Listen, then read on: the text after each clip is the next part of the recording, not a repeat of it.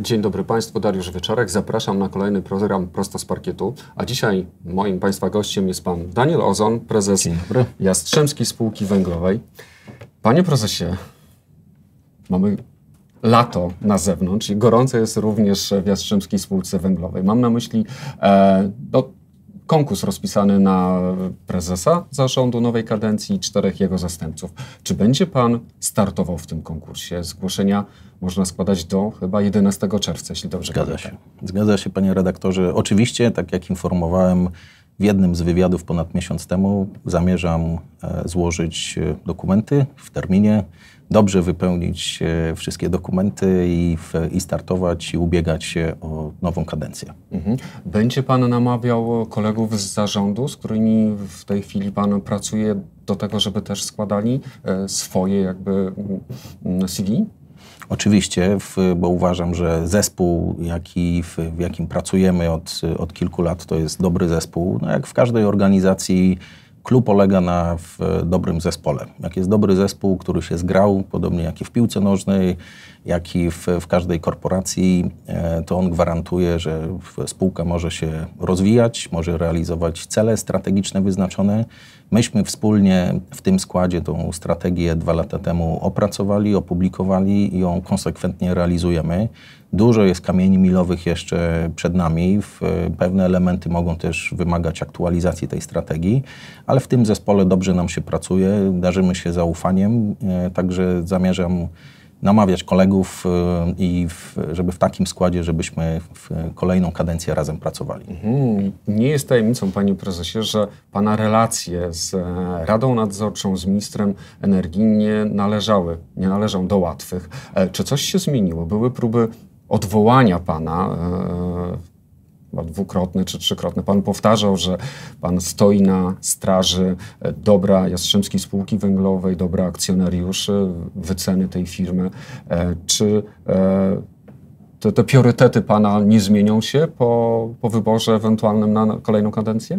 Absolutnie się nie zmienią. To są pewne wartości pryncypialne, które jeśli się w nie wierzy, to trzeba je realizować i wierzyć w nie cały czas. Y, także dobro spółki, akcjonariuszy, ludzi w, w spółce zatrudnionej, w, wierzycieli, klientów, y, całego otoczenia, w jakim funkcjonujemy, czyli gmin, społeczności lokalnej, te relacje, myślę, zostały dobrze wybudowane, rozwinięte, to chcemy kontynuować. Y, oczywiście zdarzają się różnice zdań. Ja mam nadzieję, że zarząd, który jest profesjonalnym zarządem, dalej będzie e, w, z Radą konstruktywnie współpracował, e, pomimo tych czasami różnicy zdań. W, czasami pewne kwestie, będąc w zarządzie, rozumiemy lepiej niż Rada Nadzorcza, która potrzebuje więcej czasu, zrozumieć pewne aspekty z, z innej perspektywy. To czasami wywoływało pewne pewne, może nie do końca zrozumiałe kwestie ze strony Rady, ale będziemy konsekwentnie to tłumaczyli i realizowali te nasze cele strategiczne. Mhm. Parkiet między innymi y, również o tym pisał, że, że były naciski na Pana, żeby, żeby no te pieniądze czy gotówkę, którą JSW e, posiada, przypomnę, że na koniec marca to było ponad 3 miliarda, miliardy złotych, zainwestować w różne projekty, które nie są tak zwanym core biznesem JSW. Myśli pan, że, że te relacje już na tyle się utarły, że nie będzie takich prób namawiania, zachęcania pana do inwestowania właśnie w projekty, które nie do końca są zbieżne ze strategią? E, proszę Państwa, nasza strategia jasno zakłada, iż koncentrujemy się na węglu e, koksującym na produkcji koksu, na produkcji nowych e, węglopochodnych e, produktów. E, o tym wspominaliśmy niejednokrotnie. Włókna węglowe, wodór i to jest nasz core business. Na tym się znamy. E, w tym roku mam nadzieję, że po zgodzie walnego zgromadzenia akcjonariuszy będziemy w stanie naszym akcjonariuszom wypłacić e, dywidendę. Po wielu... Przypomnę, że rekomendacja zarządu jest 200 milionów złotych. E, złotówkę i 71 groszy na akcję. Mhm. Tak, dzisiaj to jest no ponad przy tym kursie 3 z kawałkiem procent stopy zwrotów. Po wielu latach niepłacenia tych dywidendy akcjonariuszy chcemy wrócić do tego i taka była nasza rekomendacja. E, i chciałbym, żeby nasza spółka była spółką, która regularnie, podobnie jak spółki działające w tym sektorze na całym świecie, regularnie oferują akcjonariuszom wypłaty tej dywidendy, niezależnie od, od tych warunków rynkowych. Oczywiście w, jesteśmy w sektorze, który jest mocno cykliczny. Nie porównujemy się jako Jastrzębskiej spółki do no, tych e, spółek dużych surowcowych typu BHP, Vale, Glencore, Anglo, gdzie ma, są to producentami różnego typu surowców i te cykle są w, w, różnym momencie różnie się nakładają. Natomiast warto, żebyśmy tą relację z akcjonariuszami cementowali i taki jest nasz cel, żebyśmy długoterminowo tą dywidendę wypłacali e, i to chcemy, i to chcemy robić. E, także te cele chcemy e, realizować, reinwestować pieniądze w, w, nowe, w nowe bazę zasobową. Stąd te nasze rozmowy, które od, od roku prowadzimy. Właśnie, właśnie, chciałem o to zapytać, bo wspomniał Pan o tych ewentualnych korektach w strategii. Ja rozumiem, że pewnie miał Pan, miał pan na myśli to, e, że jeżeli uda się porozumieć z Prairie, tak, to, to, to między innymi z tego będą wynikać te korekty strategii.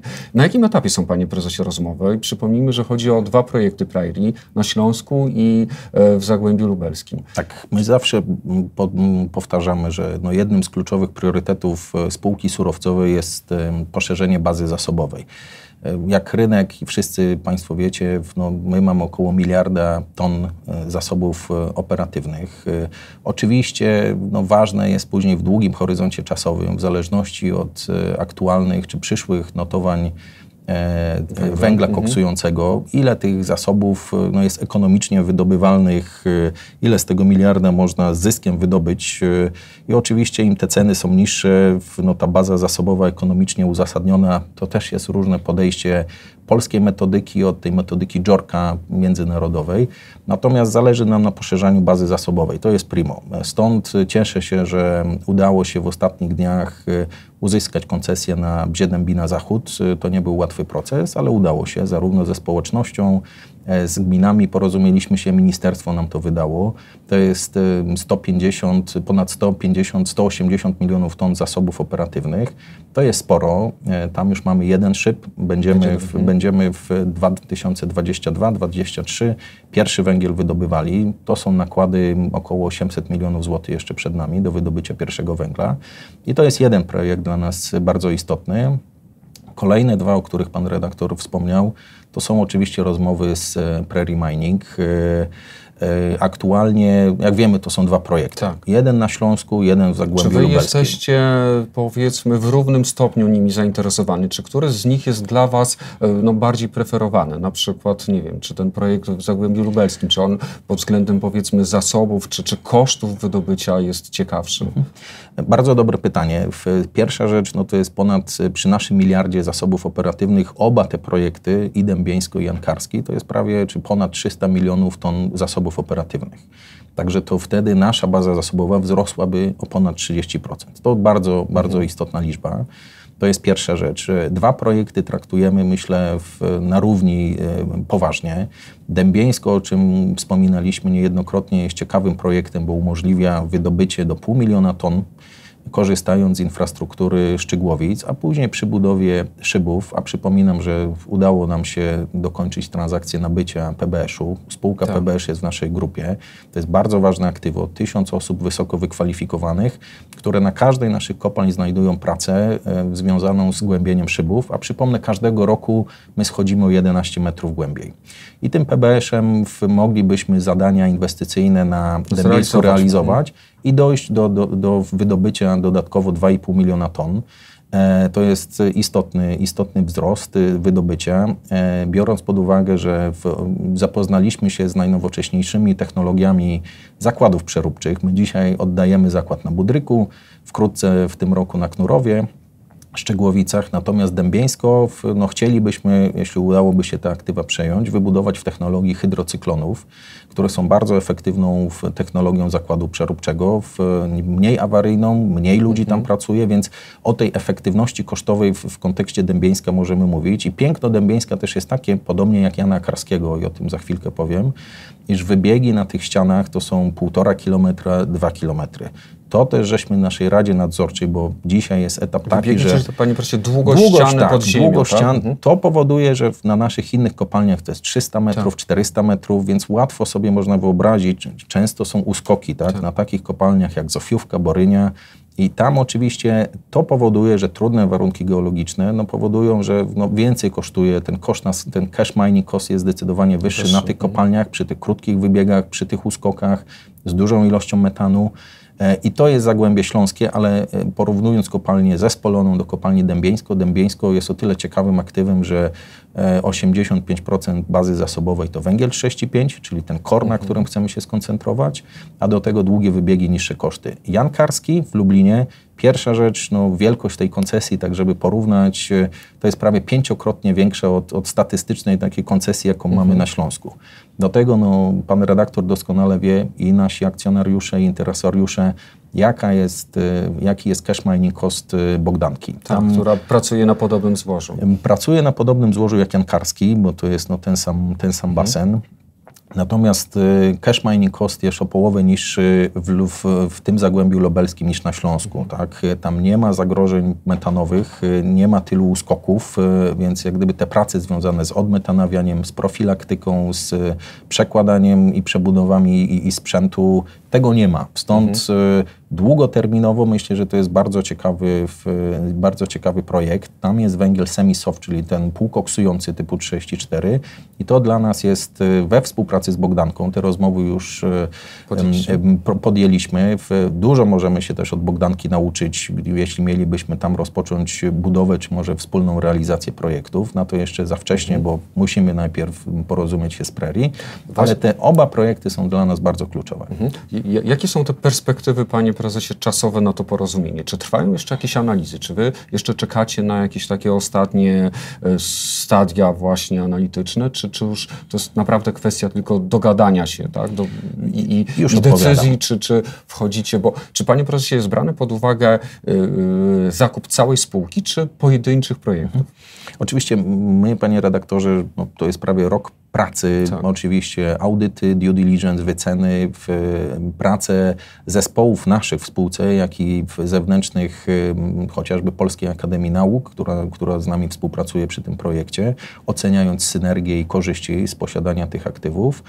To, żeśmy cały pakiet y, dokumentów i materiałów zaprezentowali naszej Radzie Nadzorczej. Decyzje są dzisiaj na poziomie organów korporacyjnych. No, czekamy, w, co, jakie decyzje zapadną i wtedy no, będziemy zgodnie z tymi wytycznymi mogli, mogli dalej podążać e, z, mam nadzieję, w, z dalszymi rozmowami e, z Prairie.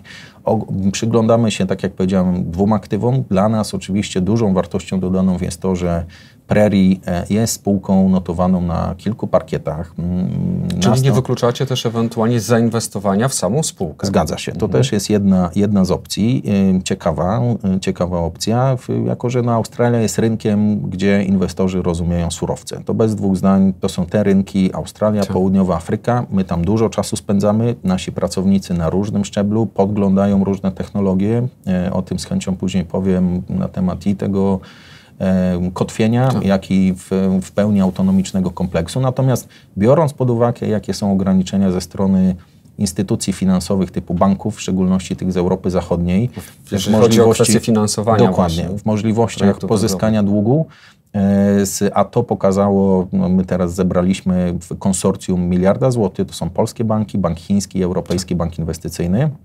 Natomiast nie ma w tym konsorcjum banków z Europy Zachodniej. Są ograniczenia i te ograniczenia każdego roku będą, będą większe, większe, więc tak. posiadając, to daje nam elastyczność, e, e, posiadanie dostępu do rynków kapitałowych i w Londynie, i w Australii, to jest na pewno duża wartość dodana. My musimy każdego, e, każdego dnia przekonywać inwestorów o tym, że, że dbamy o środowisko naturalne. Po to rok temu rozpoczęliśmy kwestie pracy związane z określeniem naszego śladu węglowego. Ja cieszę się, że tutaj w tle mamy zielone, zielone pola i łąki, w, bo chcemy JSW zazieleniać. To jest istotne, żeby nasi akcjonariusze to rozumieli. Określiliśmy nasz świat węg- ślad Panie węglowy. profesorze, to ja jeszcze do śladu węglowego zaraz przejdę, Jasne. ale tylko chciałbym jeszcze e, dopytać, e, bo to porozumienie z e, Prairie obej- dotyczy, e, zostało wydłużone do września. Myśli pan, że w tym czasie uda się uzyskać wam zgody korporacyjnej, będzie już konkretna decyzja co do inwestycji? I ja patrzę tak, panie redaktorze, no jako zarząd żeśmy i doradcy przeanalizowali, no każdy dzień, kiedy kiedy, kiedy nie posiadamy tych aktywów, to jest stracony dzień. Mhm. Stracony dzień, w którym nie produkujemy z tych zasobów, nie generujemy przychodów, nie generujemy EBITDA, więc e, uważamy, że jest to sensowny projekt i powinniśmy, w, powinniśmy te, te prace po uzyskaniu zgód korporacyjnych wznowić i jak najszybciej zakończyć.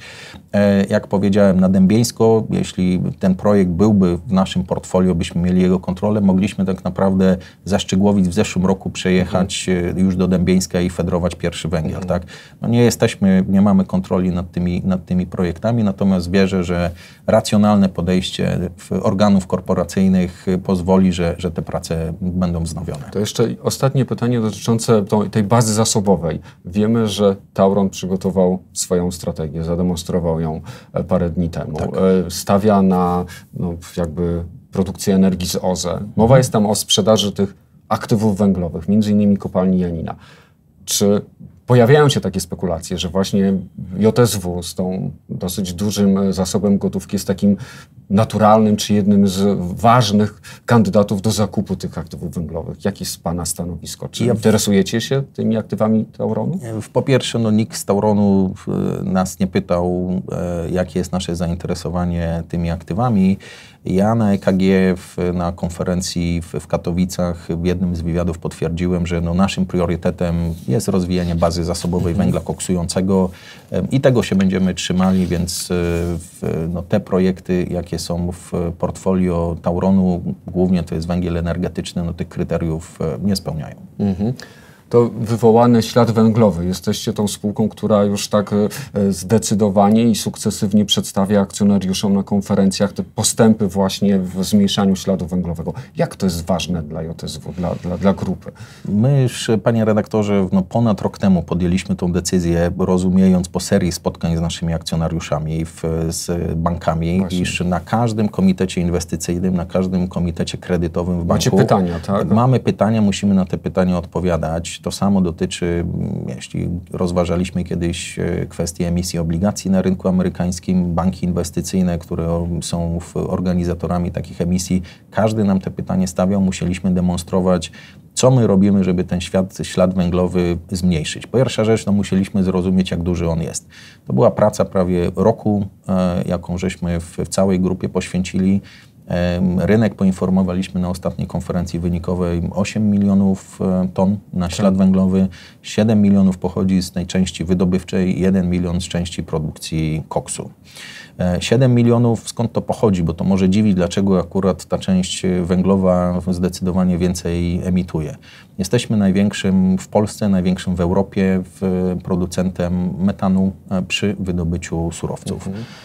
I każdego roku w, no, w pokładach e, węgla koksującego, taka jest jego natura, taka geologia, będzie coraz więcej tego metanu i przy wydobyciu ten metan jest e, uwalniany. Dzisiaj to jest ale macie pomysły, żeby zagospodarować Za chwilkę, zgadza się, za chwilkę o tym powiem. Jedna tona metanu, chciałbym tylko przypomnieć, to jest 28 ton e, dwutlenku węgla, CO2.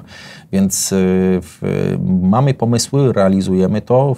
To też jest w naszej strategii. Ten metan wykorzystujemy już historycznie, e, wychwytujemy go i przeznaczamy do produkcji energii w, elektrycznej, jak i chłodu. Chłód, mhm. który używamy w centralnej klimatyzacji. Mhm temperatura pierwotna górotworu na tym kilometrze 300 to prawie 45 stopni, więc żeby nasi górnicy mogli w maksymalnie komfortowych, bezpiecznych warunkach y, pracować, chcemy te wszędzie centralne klimatyzacje na każdej kopalni muszą być i, i, i ta atmosfera musi być schładzana.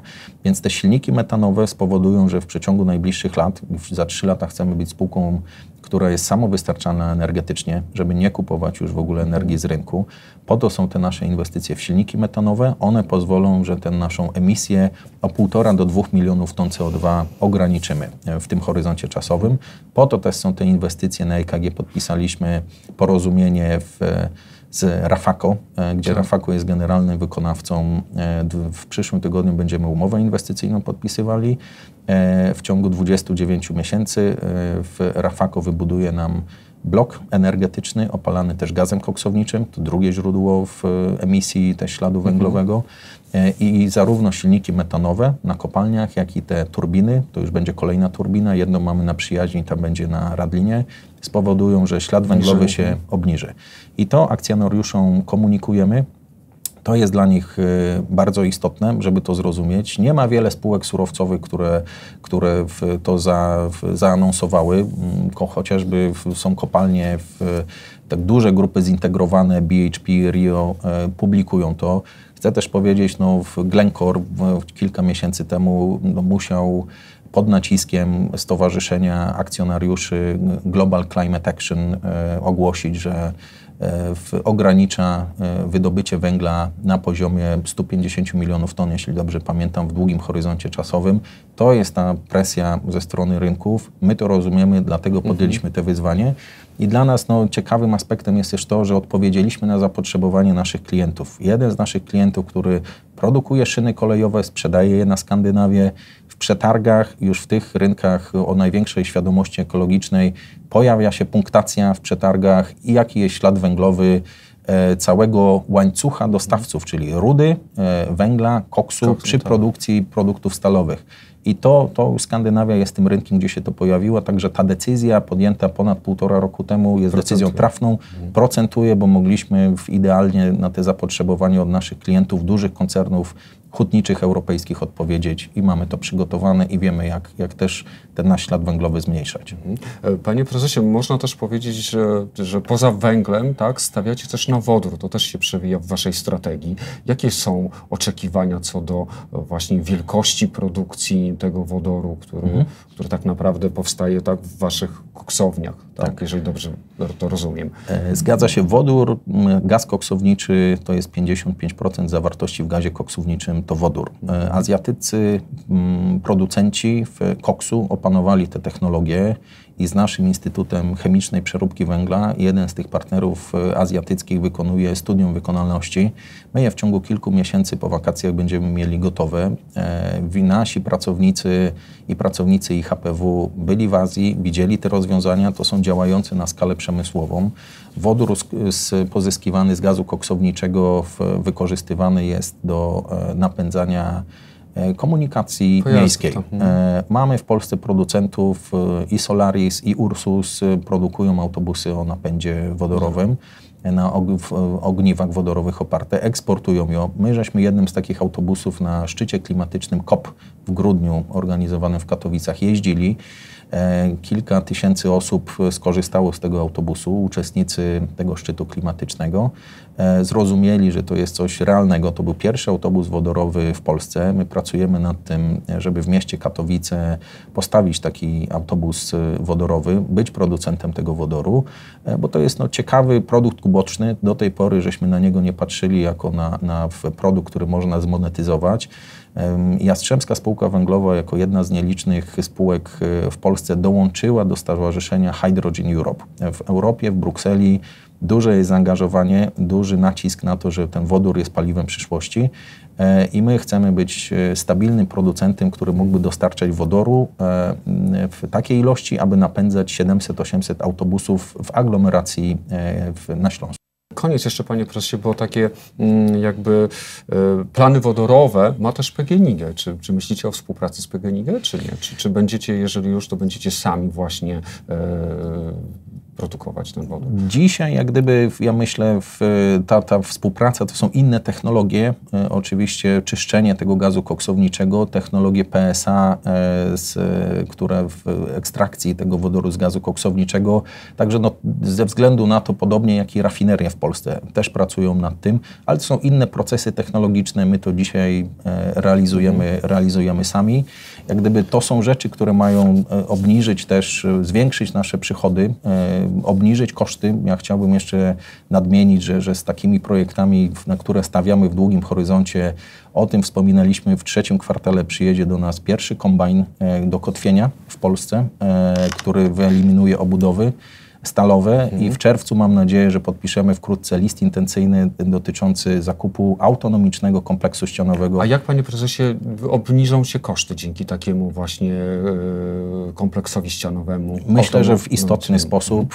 No to jest urządzenie, które, w, które zaopatrzone jest w 7000 sensorów pracujemy nad zakupem kompleksu, który pracował na Spitsbergenie w Norwegii. Mhm. Nasi ludzie jeździli kilkakrotnie tam, oglądali to. Wczoraj mieliśmy dużą naradę z, związaną z, z, tym projektem. Wszyscy się podpisują w dwoma rękoma, że ma to sens na kopalni naszej pniówek. Chcielibyśmy wypróbować to. E, chcę powiedzieć, no w pełni autonomiczny kompleks no nie wymaga obsługi ludzkiej pod ziemią ze sterowaniem autonomicznym. Także z, to oczywiście nie da się wykorzystać tego na każdej z kopalń. E, na tych trudnych kopalniach z krótkimi wybiegami, z dużą ilością uskoków to nie jest sprzęt, który będzie pracował. Ale na takich kopalniach jak Szczygłowice, Knurów, czy Dębieńsko, czy, mhm. e, czy w Pniówek tego, urządze, tego typu urządzenia mamy nadzieję, że z, będą świetnie pracowały. Nasi górnicy widzieli, jak tego typu kompleksy ścianowe pracują w Australii.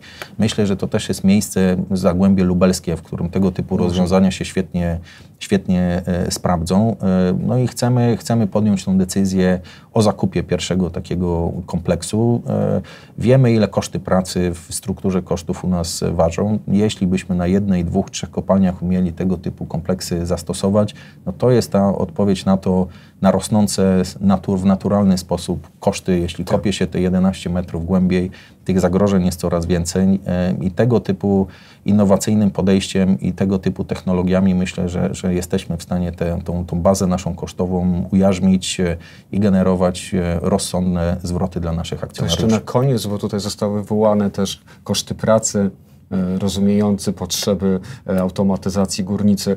Panie profesorze, pan się porozumiał z załogą, mieliście takie porozum znaczy porozumienie płacowe. Proszę mi powiedzieć, jak to w tej chwili jest? Czy czuje pan presję na, na, na podwyżkę wynagrodzeń, czy, e, czy, czy, czy, czy trzeba będzie na przykład jakąś taką jednorazową e, wypłatę e, przeprowadzić w tym roku, żeby, żeby te relacje nadal utrzymać w takim w dobrym klimacie? No, na, nasze relacje ze stroną społeczną, z załogą myślę są dobre. Zawsze ten dialog był bardzo konstruktywny i tak jak anonsowaliśmy w, w, w ramach też naszej ostatniej konferencji wynikowej, po półroczu siadamy ze stroną społeczną reprezentującą załogę do rozmów, analizujemy sytuację w zakresie możliwości wypłaty jakiejś jednorazowej mhm. w, w drugim półroczu. Będziemy to analizowali i zobaczymy, jakie mamy wyniki po sześciu miesiącach, co nas czeka w drugim półroczu. To weźmiemy pod uwagę i, i głęboko wierzę, że znajdziemy e, dobry kompromis.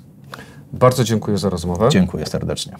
Moim Państwa gościem był Pan Prezes Daniel Ozon. E, państwa zapraszam e, jutro punktualnie o godzinie 12 na kolejny program Prosto z Parkietu. Zachęcam do śledzenia naszego kanału na YouTube i do subskrypcji.